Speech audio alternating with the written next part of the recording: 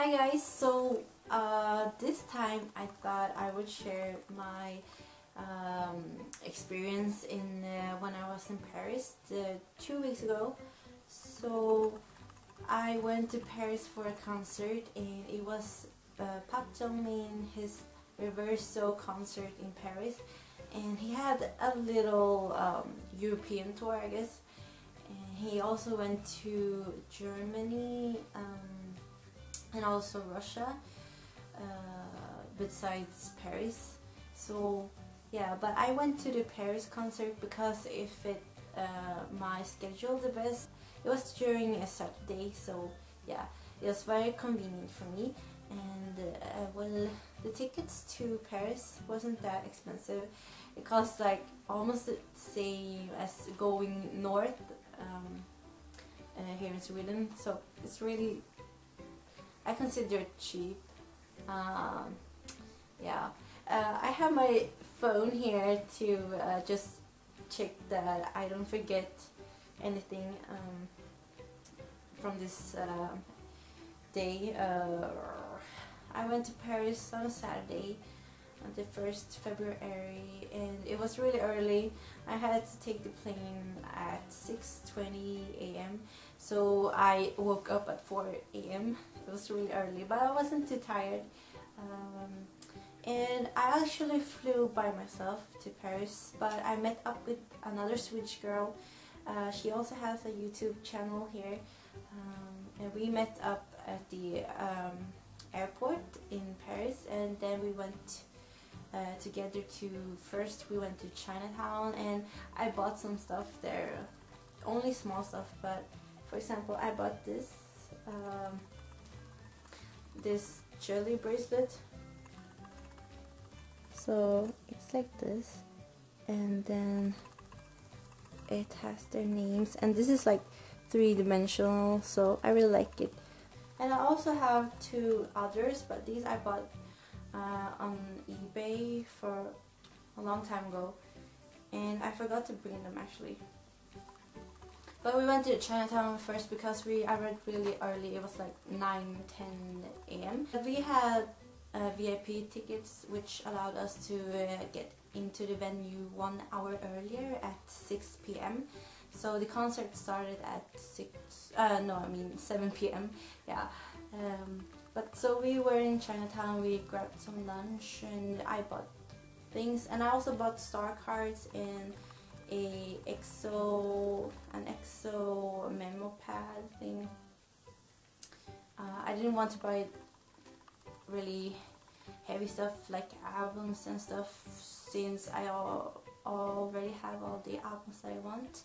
Uh, I only collect SS501 and EXO albums so and merchandise. So uh, I was really excited to go to this concert. Uh, first, I was a bit unsure as well since uh, yeah I had to spend my own money and uh, I didn't have that much but then things got better and I really looked forward to this concert especially after I seen small uh, pictures and stuff from the uh, German um, concert that was a few days before uh, ahead of the um, Paris concert so yeah uh, and uh, SS501 has been with me since the beginning of my K-pop journey so yeah they mean a lot to me. Uh, obviously since I dedicated one wall to them as well um, they are my precious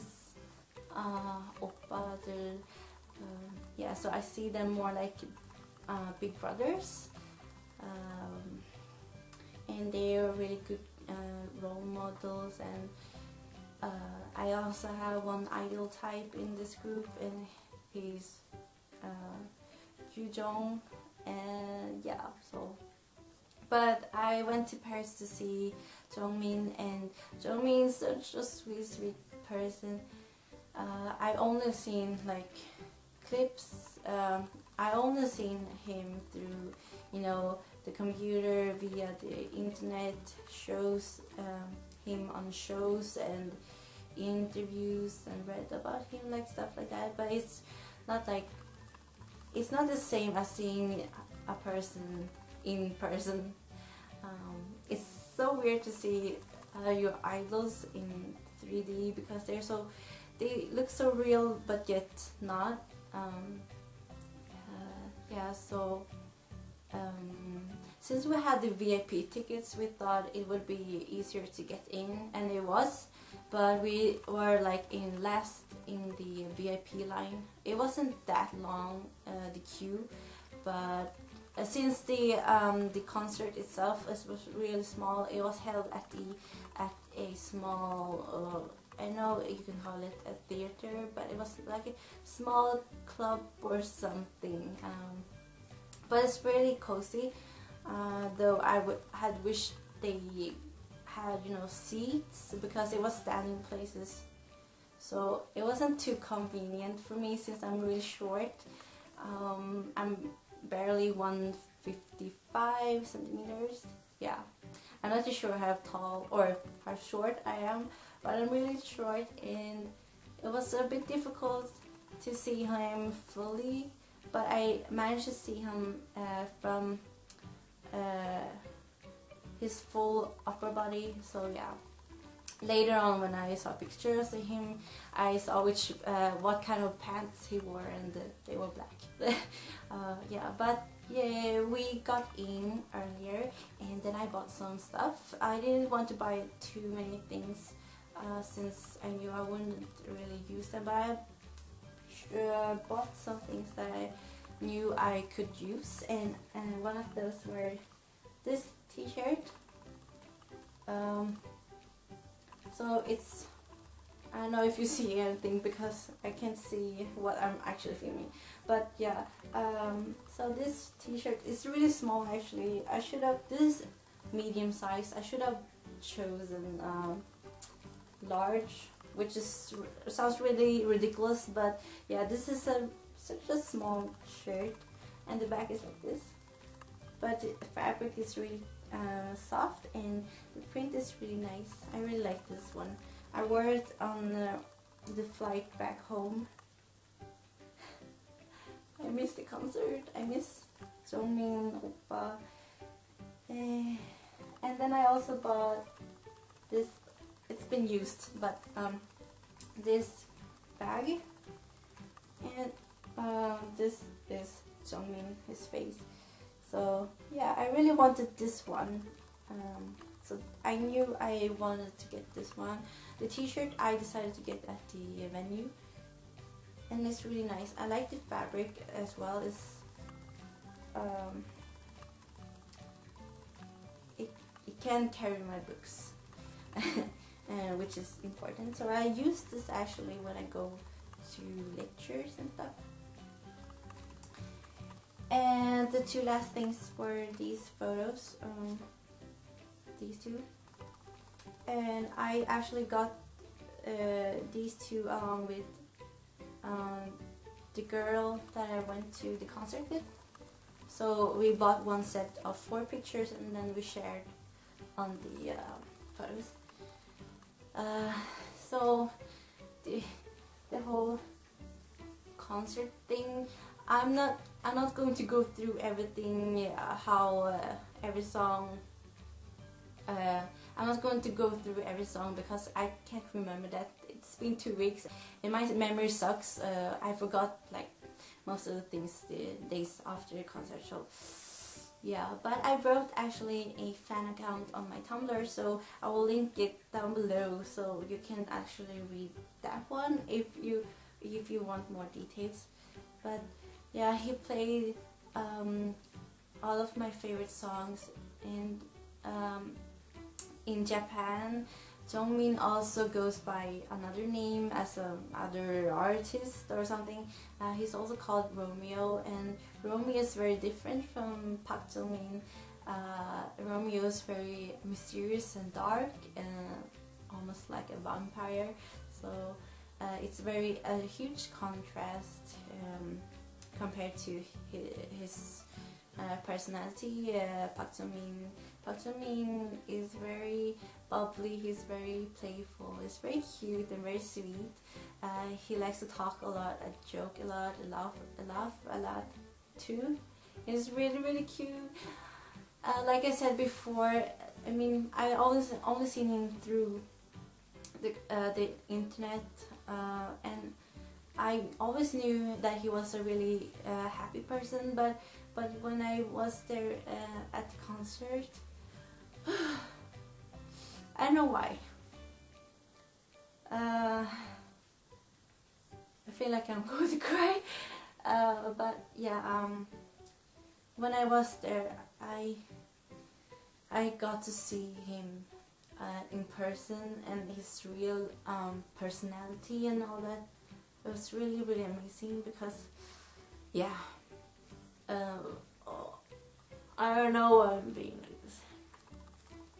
And I'm going to think that this is really stupid to upload this but yeah. Uh, it meant a lot to me to see him. And he played so many good great songs. Um, he sang Hide and Seek which is one of my favorite Japanese songs of his. And he he just sings with a lot of passion, um, with a lot of uh, emotions and facial expressions, uh, and also when he talks like with the audience, he's very he's very close to you. He's um, it's easy to talk to him. He's very very friendly. So uh, and there was a French uh, translator there and whenever the translator he signed up, uh, sort of screwed up with the translation or he stuttered so uh, you could see Jungmin he was like uh, he was uh, playing mad at him uh, which was really really cute and I had a really great time. Um, there was a lot there were a lot of times when I felt like I was going to cry uh, because it's just um, sometimes it can be a, little, a bit hard to be a Triple S since they're very inactive uh, right now. They're not as a group. Uh, they have been doing like solo promotions for four years, but I can promise you they're still a group they have not disbanded they still meet each other. And yeah so but it's sometimes really hard because I fell in love with the group.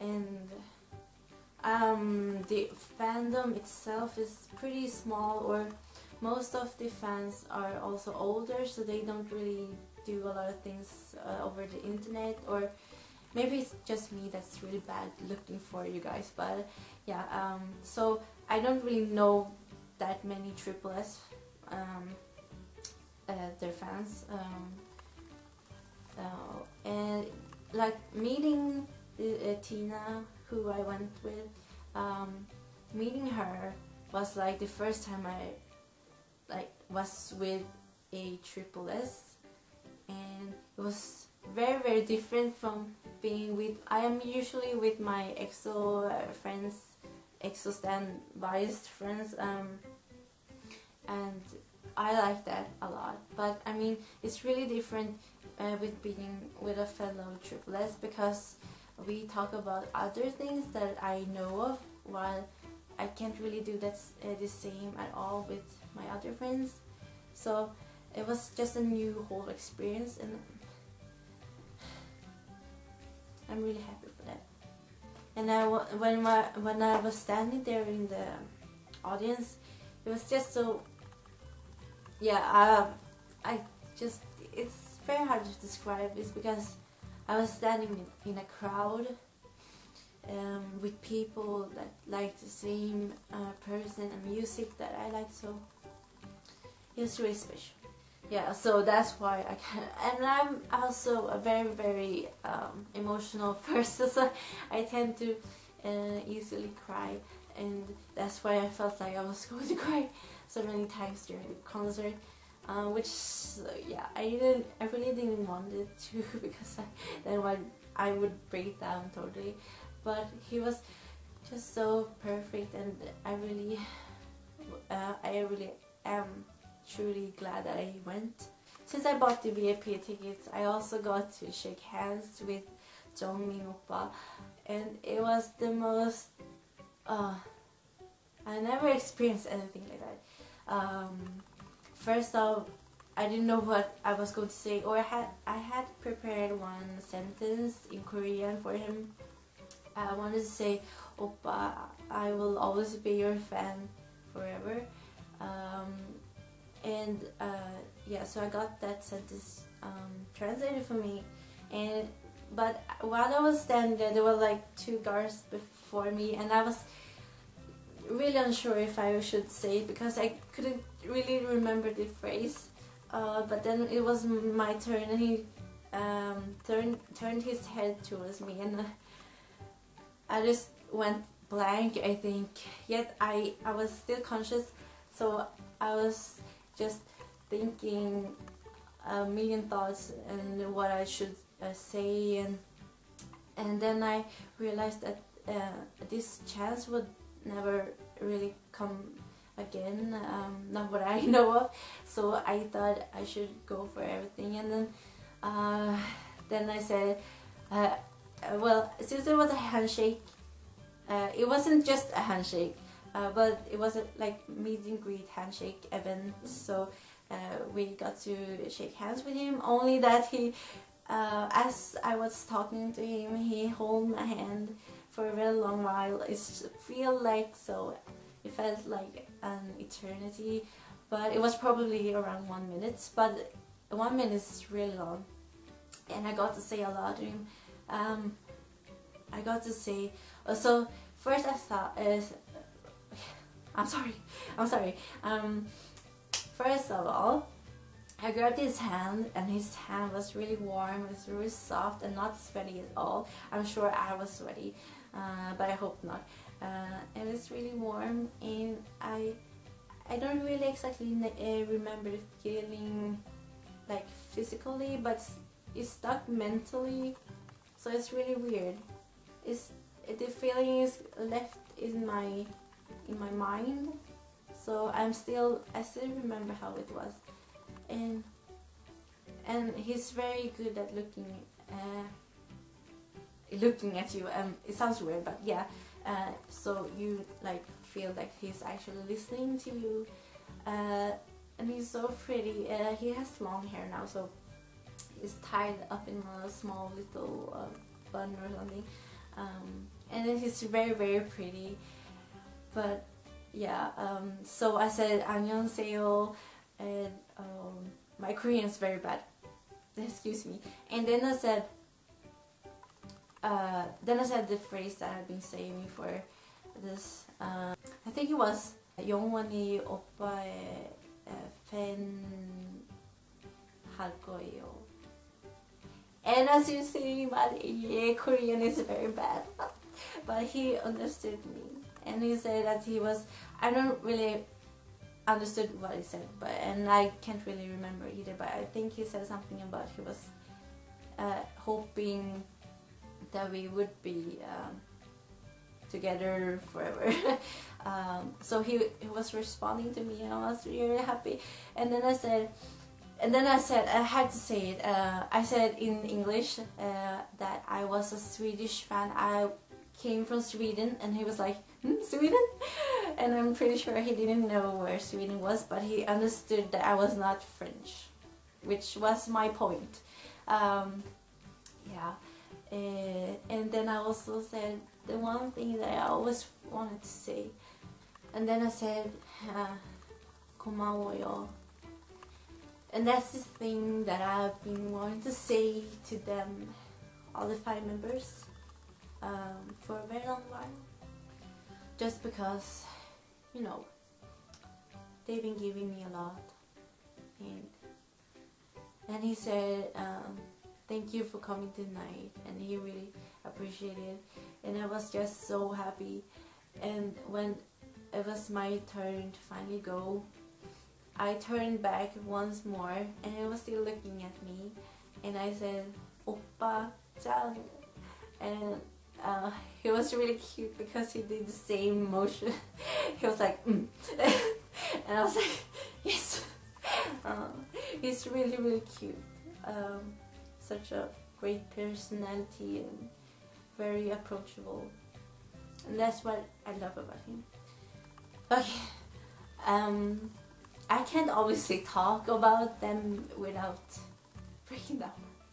Um, but yeah, this was a really, really uh, special uh, event, and I'm so happy that I went. And I want to go next time another member or Jungmin comes back to Europe, or if I go to Korea, I want to go on uh, a concert like that. The great thing about these guys is that even though they uh, were or is, you know, super idols. Um, the fan bases are quite small right now, uh, especially like outside Korea uh, or outside Asia. Uh, here in Europe, it's really small the fan base, so we got to like be very close to him, and I really like that actually. I I prefer that more than you know sitting far away in a big concert hall um, it would be still amazing but it's not the same as like how it was during this concert so I'm really happy for that. Um, maybe I'm a bit selfish but yeah. It was really uh, I had a really great time. And I also wore this um, when, when you had the VIP uh, ticket you got this wristband thing paper thing and I wore it for two weeks. Then I, two days ago, I took it off because it was getting too, uh, you know, old and stuff. So, but I'm still keeping that. Yeah. So, uh, I don't remember what I didn't uh, take uh, talk about uh, in this video, but I I probably forgot a lot of things. Yeah, I know what I forgot to say, tell you guys. Uh, he sang a lot of, or three, four, four, four Double S Fire One songs, and that was also a moment that I wanted to cry because I never thought I would experience that. But of course, they all they usually sing Double S Fire One uh, songs, but I never like really realized that I had uh, got to um, listen to them live. But I did, and it was just such a blast. Uh, every fans they got crazy and it was just really amazing. He sang "Coward," a song calling for you, uh, "Bye Bye," and he sang "Greenpeace," "Greenpeace," and it's a song dedicated to us Triple S. He finished the concert with that song, so it was really great ending and I'm really thankful for him to bring all that to us as well. Uh, yeah, so I probably forgot a lot of things, but the details um, is in the uh, my fan account that I wrote two weeks ago, uh, a few days, oh, the day after the concert.